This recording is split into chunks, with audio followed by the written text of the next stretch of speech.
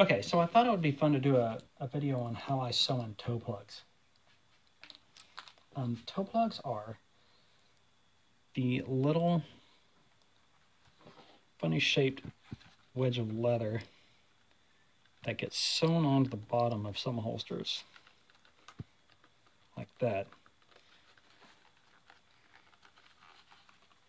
that work as a floor for the holster. Now obviously this helps seal up the bottom to keep garbage and dirt from getting into your uh, into your gun. But I think more importantly, what it does is it helps the holster keep its shape down here at the bottom. Um, because if you don't use a toe plug, you're either going to, well, you're either going to leave it open like that, or you're going to sew it up. And the holsters that I that I make that have toe plugs in them, uh, they're just a little bit quicker, for lack of a better term, uh, because it well, when you have a holster that's sewn up, when you put your gun in, the barrel gets kind of wedged down here at the bottom, where the the leather is kind of being pinched together,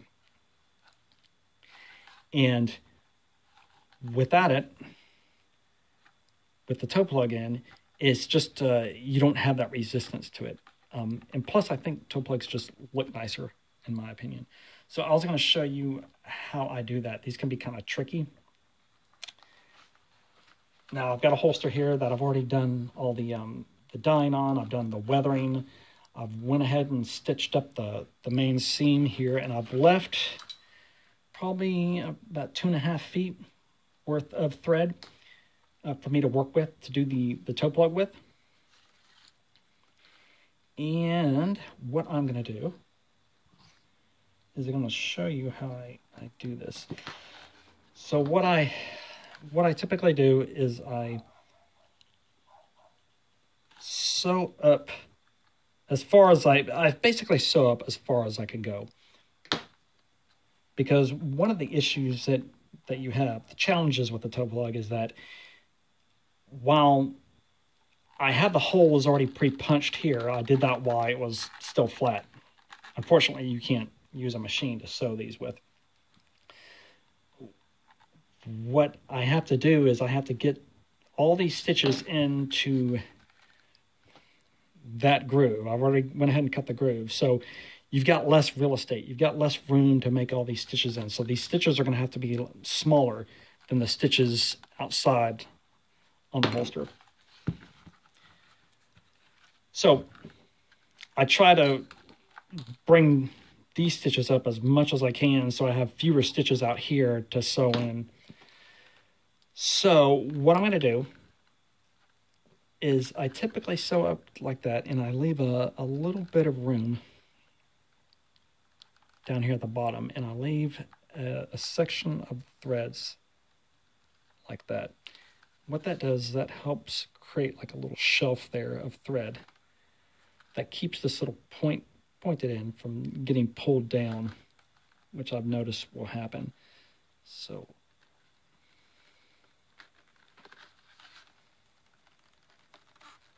So it's going to be like that. But the first thing I do is I glue it in. Uh, I've got my Eco Weld here. I love this stuff. It lasts a long time. But this is one of the main things I use it for. So what I'm going to do is I'm going to go ahead and this is technically a contact cement.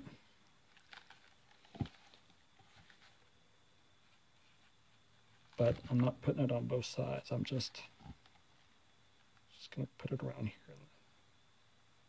Just like that. Don't be stingy with it. Now, we're going to put the toe plug in. That. And the main thing you want to do here is you want to keep it flush. Um, I use this old uh, rawhide mallet to kind of act as a backer if I shove it in there a little too much. And again, I'm just trying to, the goal here is to keep keep it flush.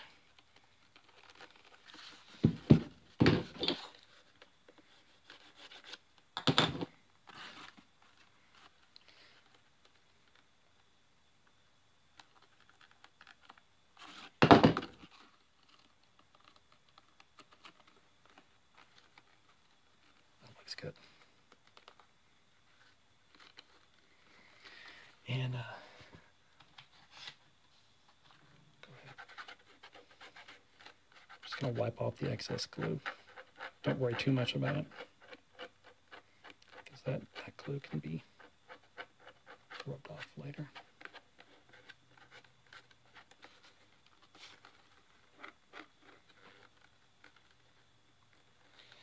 The main goal here is we just want it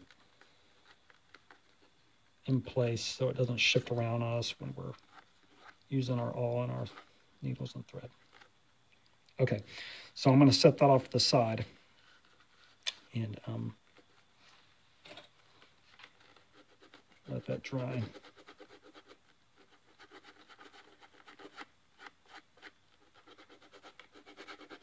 This is an old um, rubber glue. Uh, I think it is. It's an old rubber rubber cement uh, eraser or something like that. I'm not sure where I got this from, but it works really good with pulling off that that contact cement, any excess. Okay. All right, so we're gonna have, we got that glued in and we're gonna set that off to the side to let it dry. And then we'll be back. Okay, so the glue is dried. And the first thing I need to do to start on this is I need to get the string here on this right side through the left side, up out of the toe plug, and then back down into the next open hole on my left side here. Because um, we're going to be saddle stitching this all the way around here. You need a good sharp awl.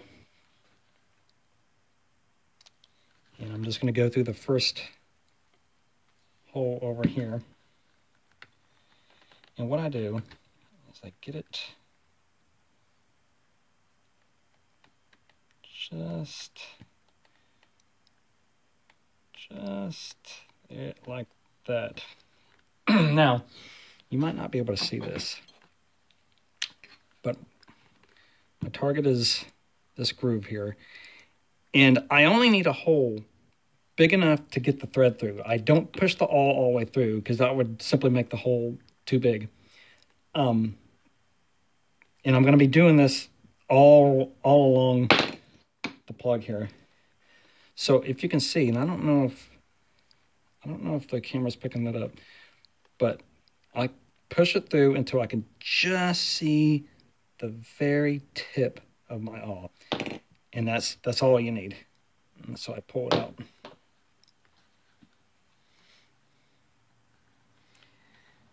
Take my needle and push it through.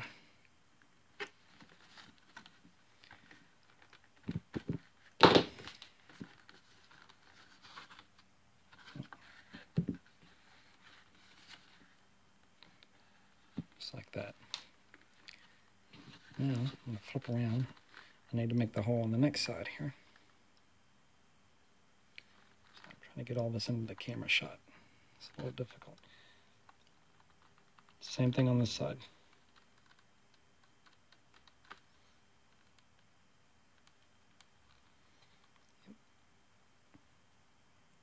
Again, I don't know if you can see it, just until I can very see the very tip top.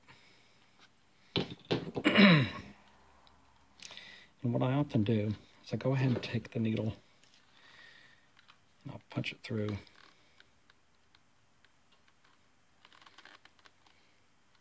To go ahead and start that hole. Reach around, I grab that.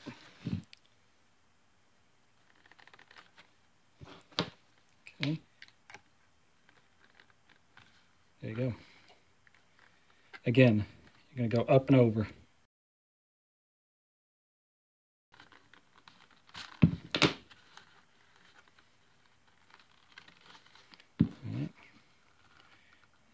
first stitch.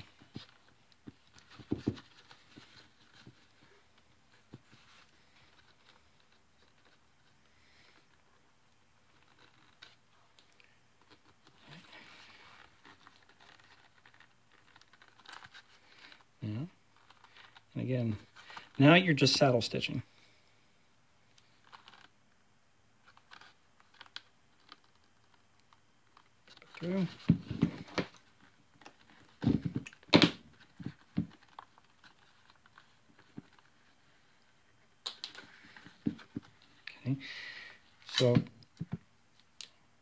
Stitching, you got two strings, two different needles. There's lots of videos on how to do it. All right, so as I go around, what I'm going to be doing is you're going to have a bias kind of towards the back here. As you go through, you're not going to just go straight on like this, like you would normally do. You're to, it's to be more towards that. You're to keep kind of, keep the awl kind of pointing towards the, towards the back here. Otherwise you'll run out of room. Remember, your, your stitches in your plug are to be smaller than the stitches that you have out here.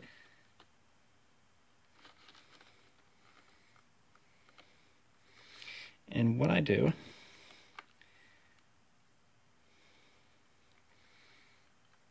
do it really carefully. My my awl is sharp, but I'm doing it really slow because what I'm looking for is that, that little tiny bulge that'll show up just before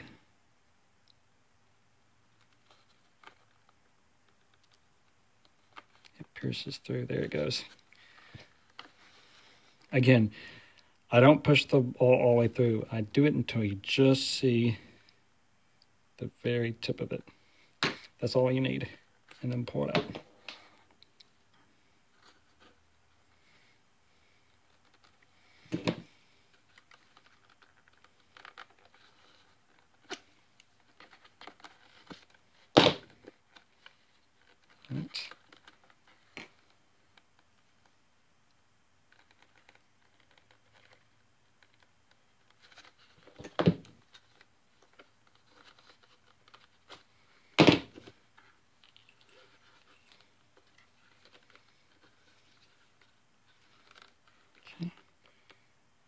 First stitch.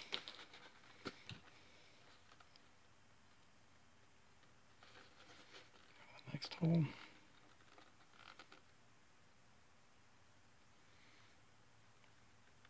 Let's just see the tip of the awl.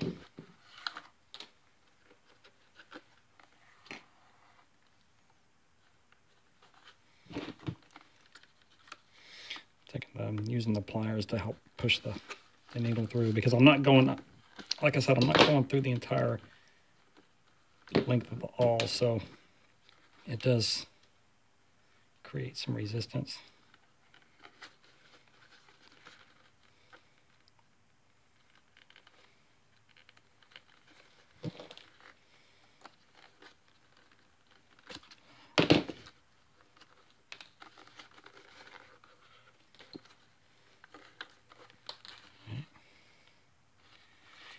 Slow, tedious process. Unfortunately. But essentially you're you're just saddle stitching all the way around. And as I go through, I kind of aim, what I tend to do is I kind of aim towards the inside edge of the groove here. Just to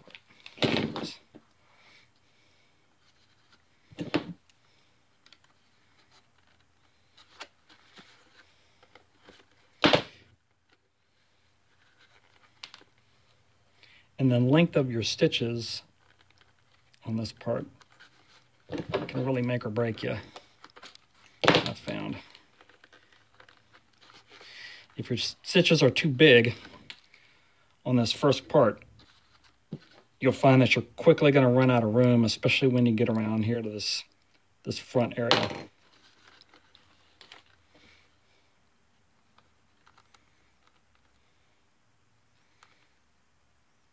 if you see it start to pop out the, the wrong way or not in the spot that you want to, you can always back it out. Camera's having a hard time staying focused on this.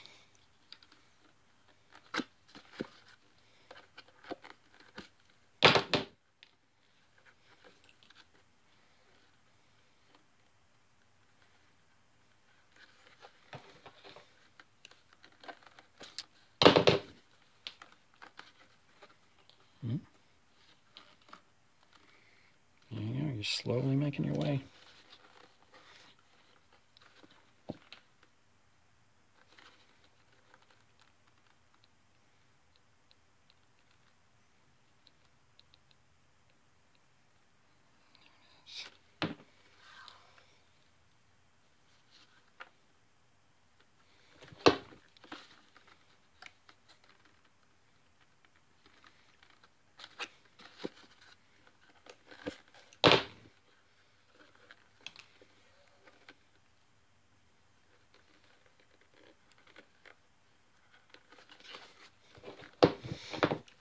This is also the part where I end up breaking a lot of needles. It's just a lot of torque put on them. Trying to get shoved through, making your way.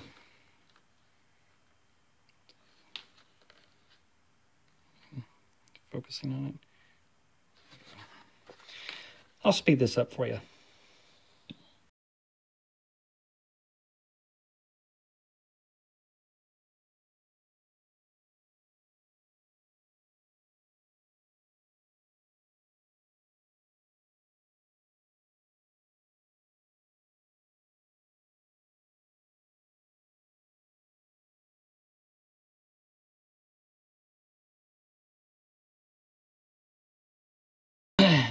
occasionally you'll find a really spongy part of the leather.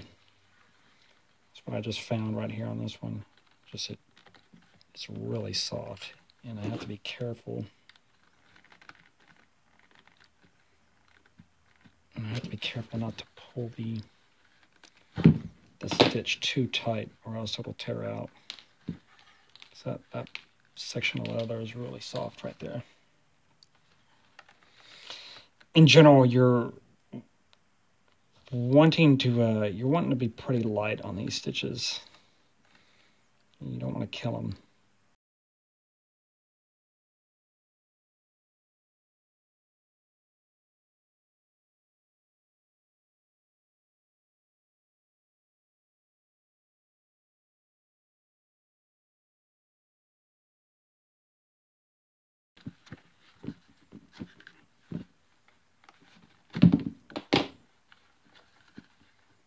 Okay. You're going to end up going through. Oh, my light went out. Right, back on. Yeah.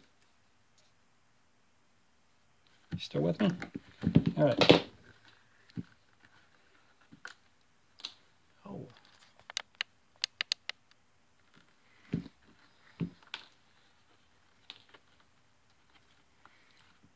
My light.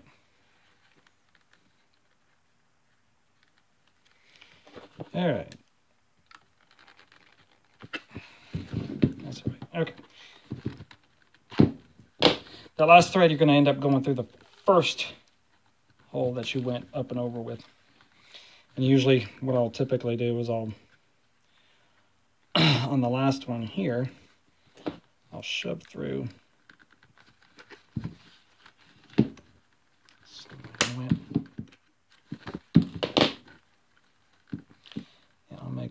last, well, actually, I like to end it on the, end it on the back side. There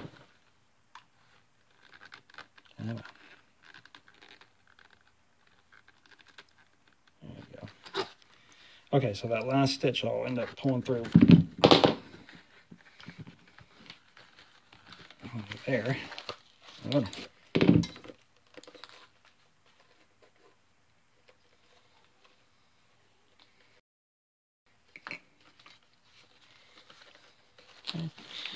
What I typically do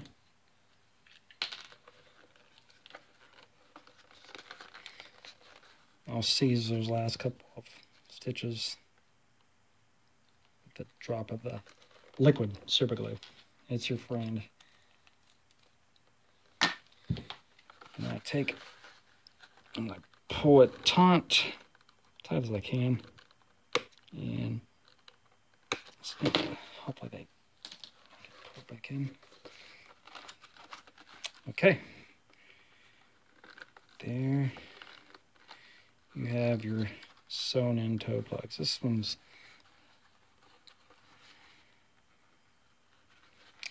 and then what I what I'll do is I'll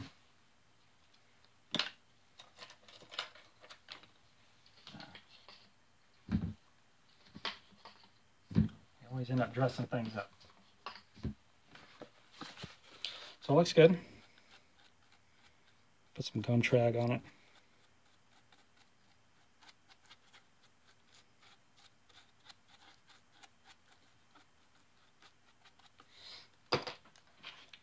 Because what will happen is that even though you glued it in, the um,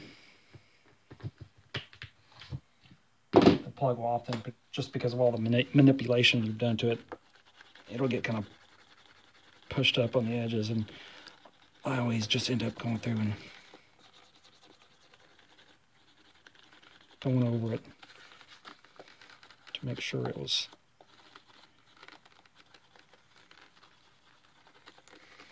make sure it's flush. Sorry if I'm going off camera a little bit. It's just give it a little push right there. A little, I like mine to have I like mine to have a little bit of a concave look to it.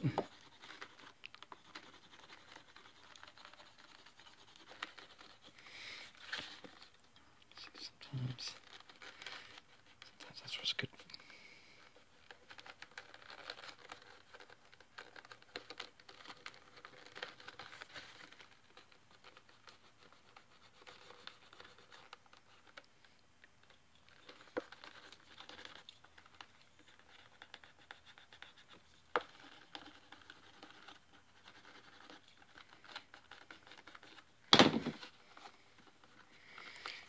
Yeah, okay.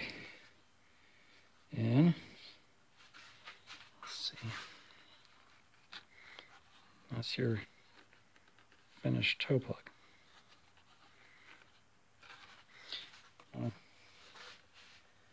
The outside here.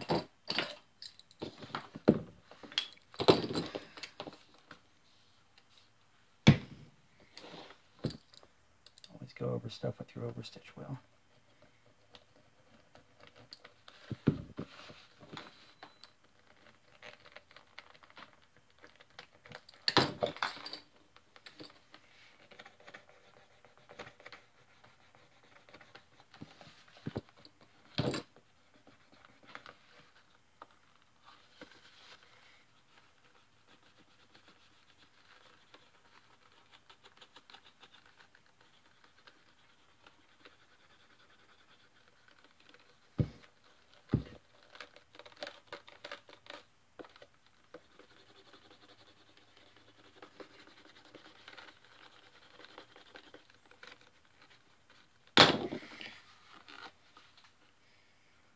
Go.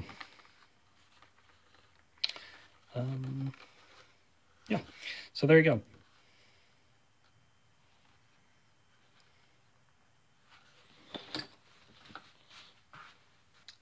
Okay, so you got one of those situations that's not if it happens, but when it's going to happen. Um, I've got a new holster here. I'm sewing in the toe plug and it's looking pretty good until I get up here and I'm realizing that I've run out of room. And I know what the problem is. The, the issue is that I, I misjudged the length of the stitches here. I made them too long. I should have made them a tad bit shorter because now I've got all the way around to here and my next hole, if I follow it, is going to put me way up. I'm going to have to go way off at an angle right here what I need to do is I need to skip a couple of stitches. What you need to do is put the next hole right there and go through that hole. But I still got these two stitch holes here. So, man, what am I going to do? Well, I'm going to show you what I do. I'm going to cheat. I'm going to go ahead. I'm going to skip those two stitches here.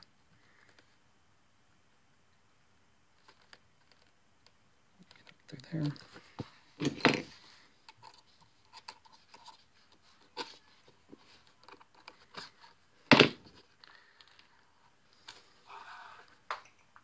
Oh. Okay. All right, so got my stitch here. But now the problem is you have this ridiculously long stitch here. That's all right.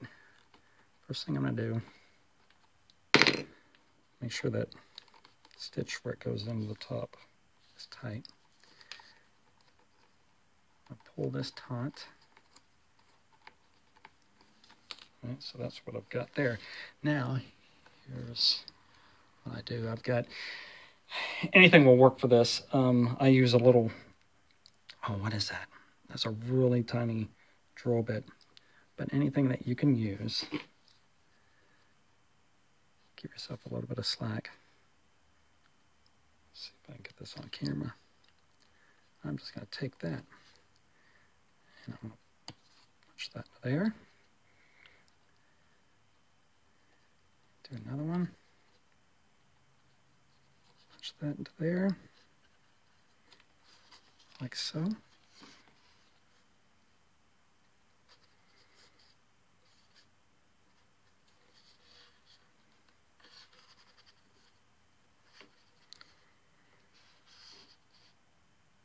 And you got some stitches. And what I'm going to do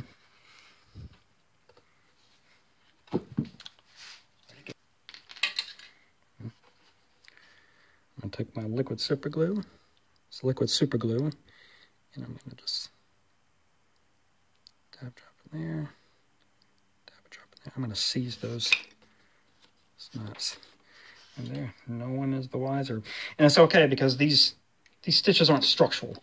Um, you know, these these are just to, to keep the toe plug in. You're never going to have anything that's trying to pull apart these two surfaces here.